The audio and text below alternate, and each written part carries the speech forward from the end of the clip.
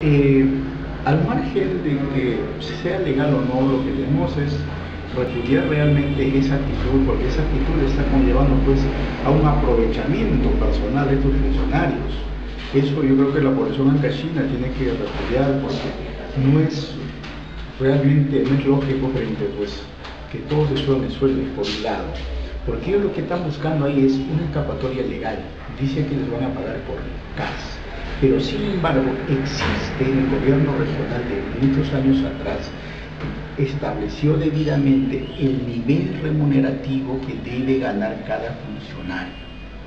Entonces, lo que se debe hacer es realmente, no sé si el sindicato o el PPT está denunciando, es denunciar porque es un hecho totalmente de, un aprovechamiento. Eh, pero ¿es legal o no es legal? A mi criterio no es legal. No es legal. Ese cuento de que dice que el año pasado se pagaban con, con memorándum y ahora sí lo van a hacer oficialmente con una resolución, ¿es una broma o cómo lo tomas? no, eh, no es legal por una razón. Está prohibido todo incremento de sueldos y remuneraciones por la ley de presupuesto de 2019. En ese sentido, ellos están transgrediendo esa ley que establece toda forma, toda, toda triquiñuela legal para poder incrementarse los sueldos. Sin embargo, ¿cómo califica usted la posición asumida por el gobernador, que prácticamente ha avalado esto? Pero, a ver, desde lo que fue candidato yo decía, pero ¿qué podemos esperar de un gobernador sentenciado, condenado por poder judicial tantas y cuantas veces? No podemos esperar nada. Pero sin embargo, pues ahora está en un ente del Estado, ¿no?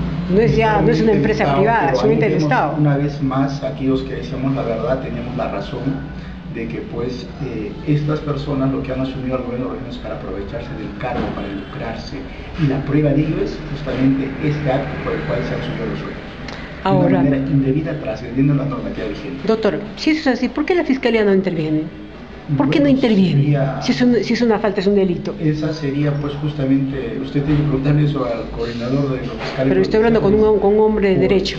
Porque de acuerdo a su norma, de acuerdo a la, al, decreto legislativo del Ministerio Público, ellos están en la obligación frente a una noticia criminal de abrir una investigación de oficio, sin que pues nadie pueda acudir a ellos a decirles investiga, es su función. Porque una, una de las funciones que tiene el Ministerio Público es justamente perseguir el delito. Y acá no lo están haciendo. Acá no lo están haciendo. Y no solamente en ese caso, son en muchos casos. Ahora, doctor, hablando ya desde el punto de vista político, ya me explicó de forma legal. ¿Qué opina usted sobre la actitud que, la actitud que tiene el señor Luis Luna Villarreal, que se vendió pues como un candidato de polendas, técnico, intachable, competente, que se ha presentado en más de dos o tres oportunidades para poder ser candidato al gobierno regional, no lo ha logrado y parece que su premio consuelo es pues, ser gerente regional, pero ¿lo está haciendo bien o lo estaba haciendo mal? Bueno, creo que lo está haciendo totalmente mal. Desde el momento que se han subido los sueldos, realmente estos funcionarios no tienen la mínima voluntad de servicio a la población.